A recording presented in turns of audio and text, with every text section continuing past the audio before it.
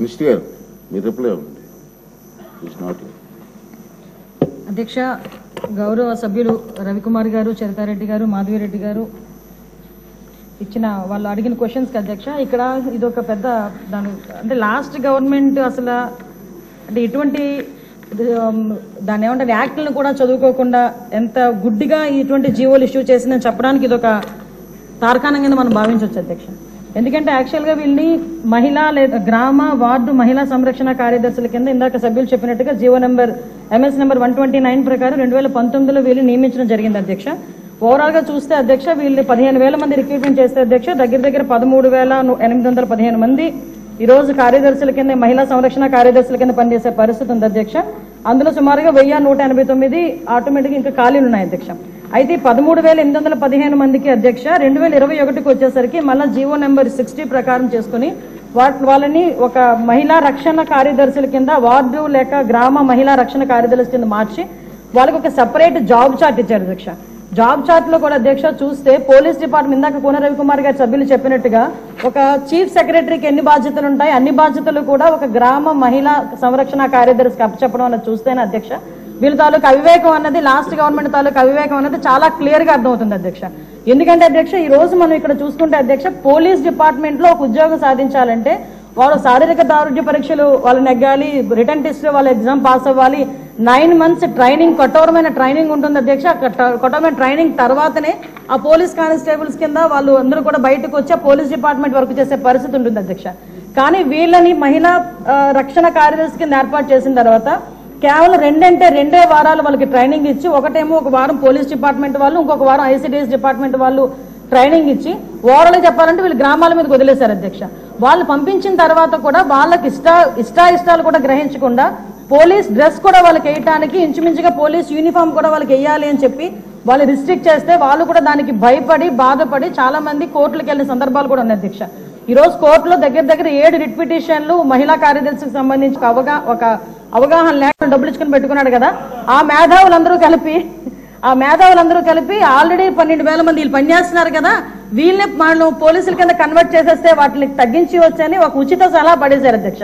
దానికి వెనకాతలు ఒక పోలీస్ డిపార్ట్మెంట్ మీద ఒక అవగాహన పోలీస్ రిక్రూట్మెంట్ మీద ఒక అవగాహన వాళ్ళ తాలూకా జాబ్ చార్ట్ మీద ఒక అవగాహన ఉండుంటే ఇలాంటి పని చేసి ఉండేవారు కాదు అధ్యక్ష.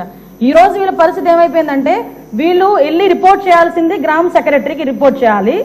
వీళ్ళ అడ్మినిస్ట్రేటివ్ పవర్స్ ఎక్కడ ఉంటాయంటే పోలీస్ డిపార్ట్మెంట్ దగ్గర ఉంటాయి.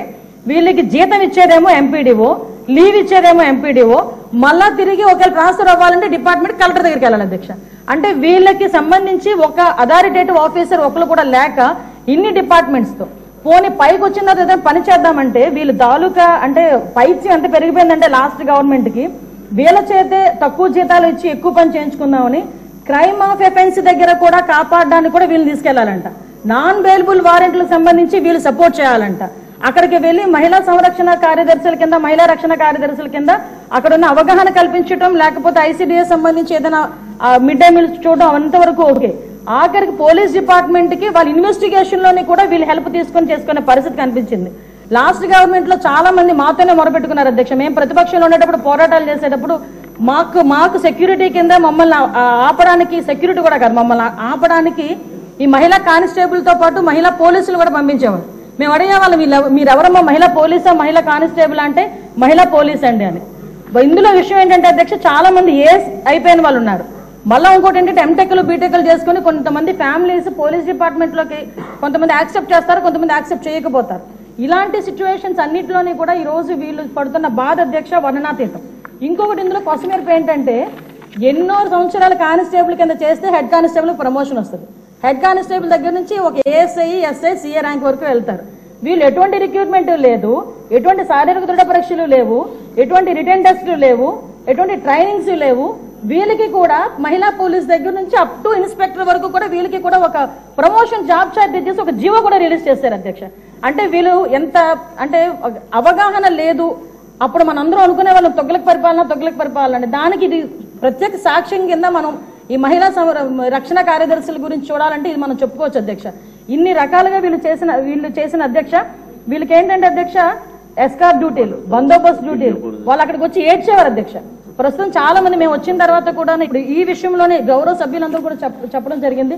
వీళ్ళు పోలీస్ డిపార్ట్మెంట్కి సంబంధించిన వాళ్ళ కింద ఉంచాలా లేకపోతే ఐసీడీఎస్లో మనం పంపించుకోవాలా వేరే ఎవరికైనా ఏదైనా జాబ్ చార్ట్ ఇచ్చి సపరేట్గా వీళ్ళు ఏదైనా మనం చేయాలా అనేది ఆలోచన చేసుకోవడానికి ఒక సుదీర్ఘమైన చర్చ అయితే జరగాలి అధ్యక్ష. మేము చర్చిస్తాం అధ్యక్ష. నా అప్పీల్ ఏంటంటే ఇక్కడ గౌరవ సభ్యులందరూ ఉన్నారు. గౌరవ సభ్యులందరూ కూడా ఈ విషయంలోనే మనందరికీ కూడా అవగాహన ఉంది.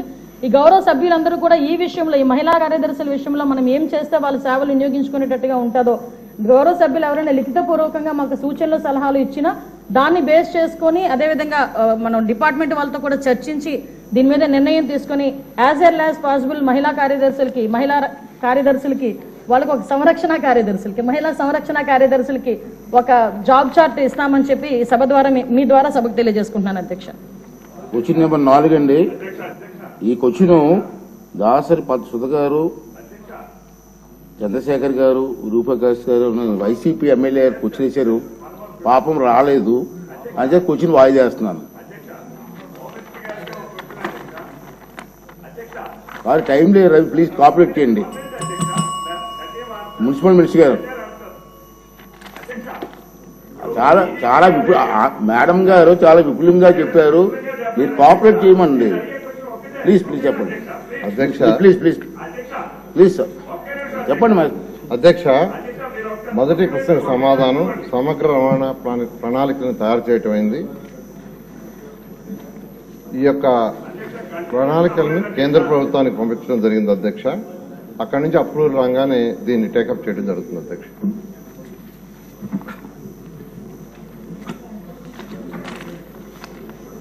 ఎమ్మెల్యే ఉండండి అయిపోయింది పాస్ అయిన తర్వాత ఇప్పుడు మీరు? కాపరేట్ చేయాలి తప్పదు.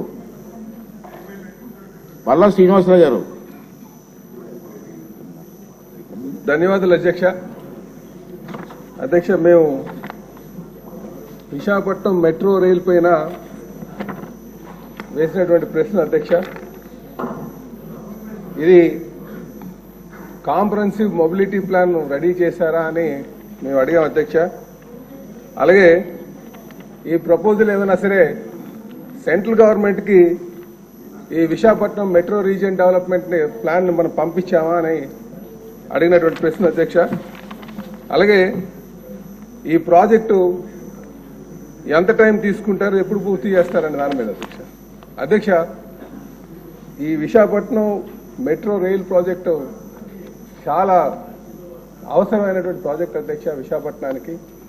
ఎందుకంటే విశాఖపట్నం ఒక చిన్న పోర్ట్ సిటీగా తర్వాత విశాఖపట్నం మున్సిపాలిటీగా తర్వాత విశాఖపట్నం మున్సిపల్ అర్బన్ డెవలప్మెంట్ అథారిటీగా తర్వాత ఇప్పుడు విశాఖపట్నం మెట్రో రీజియన్ డెవలప్మెంట్ అథారిటీగా రూపాంతరం చెందింది అధ్యక్ష.